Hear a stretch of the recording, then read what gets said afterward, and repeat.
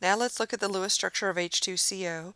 We're going to have two hydrogens, each with one valence electron, plus 4 from our carbon, plus 6 from our oxygen, and so we get a total of 12 electrons.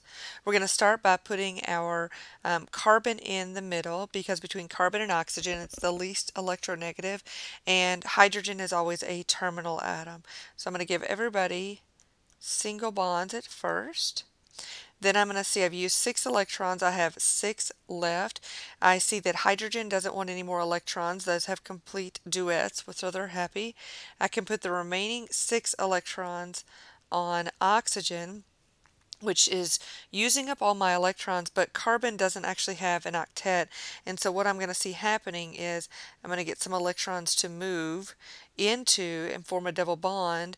So I'm going to end up with oxygen double bonded to carbon,